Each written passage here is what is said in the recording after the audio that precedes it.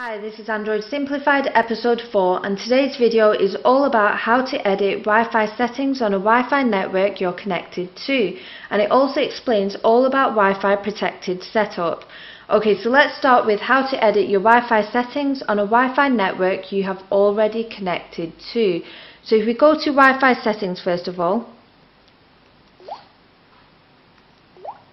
Here we are. You try and find the connected network. In this case, it's this one here. This is the Wi-Fi connected network, and we can tell because it says connected here, right underneath it. Now, it's a pretty simple process. All you need to do is long press on the network name like so, and this is the dialog box that shows up. Now, you have two options here. You can click on Forget Network, which will basically erase all configurations and reset the network information you've input on your device.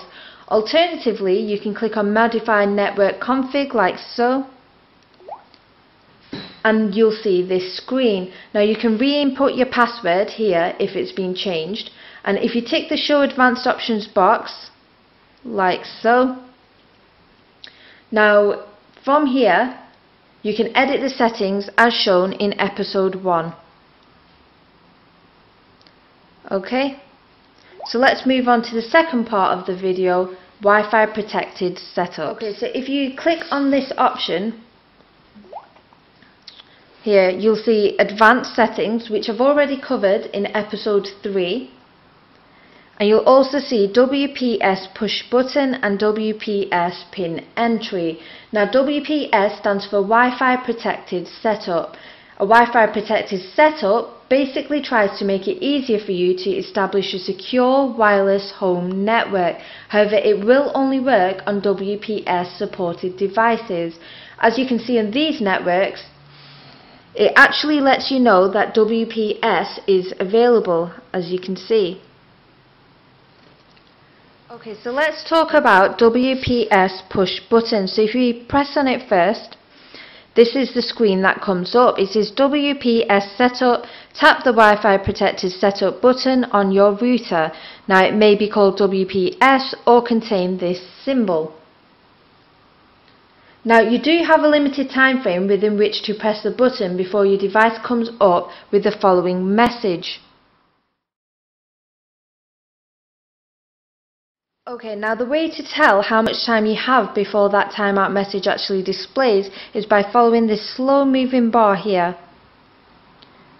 Now once it gets to the end, that's when the timeout message will be displayed. However, it's not the end of the world. All you need to do is click on the options button, click on WPS push button, and you can restart the process all over again. However, it is a quite slowly moving bar. It just take its time. You do have quite a lot of time in which to press the button, so um, it's not like you have to rush. Okay, so let me show you a couple of examples of where the WPS push button um, can be found on two different routers.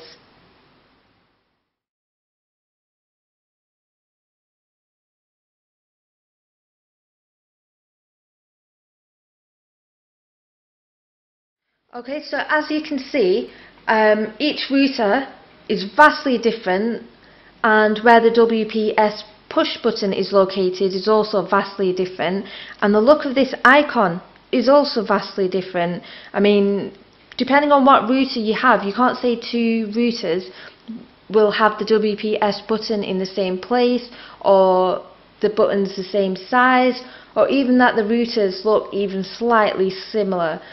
Um, but if you check your router manual, have a look to see if you can find the WPS button, if the feature is even supported. Then all you need to do is go back to this point and press the WPS button on your router and your device will automatically connect up to the internet. Okay, now the second option is WPS pin entry. So let's click on this option. Okay, now this is what you'll see. As you can see, a PIN number is given. Now each time you use this option, the PIN number displayed will be different, which in turn helps ensure a more secure connection. Now as you can see, the PIN here starts with 5365. So that's 5365. So if we cancel that, and if we go back onto WPS PIN entry, it's a completely different pin 6058 Okay, so how would you go about using this option? Well, it's not as easy as the first option, but it's still a pretty straightforward process. What you need to do is access your router's web-based setup page. Now for details on how to do this, check your router manual. Although this process may vary slightly, generally it's very similar regardless of whether you're on a Windows or Mac or other device or who your service provider is. Now you should see a wireless tab on the router's setup page and somewhere on the page an option to choose Wi-Fi protected setup or WPS pin entry. Now if you click through these options you should be asked at some point to enter the pin shown in your device which is basically this pin here. Okay, now once you've done this, follow through to finish the process and you should have a working Wi-Fi internet connection. Now, I'm going, just on a side note here again, I'm just going to repeat what I said before about WPS push button. Again, you've got like a limited time frame in which to get this done. However, if it does turn off, it's a simple process again. If it turns off and it comes up with the timeout message, you just repeat the process by clicking on WPS pin entry again. The pin obviously will be different, however that's not really a big issue. You can prepare the page in advance before you type the pin number in. It's completely up to yourself. I would just like to say on a final note, although I have shown how to use both versions of Wi-Fi protected setups, I would recommend using caution for both methods, as they are rumoured to be less secure than the standard way to connect to Wi-Fi, and it may open your network up for attack. So that's the end of episode 4. I hope you've enjoyed it. And if you have any questions or would like me to review an app or explain any features or settings on your mobile device, please leave me a comment and I'll do my best to get a video out. Now I will be making more episodes so please subscribe to my channel for my up and coming videos. Thank you for watching Android Simplified.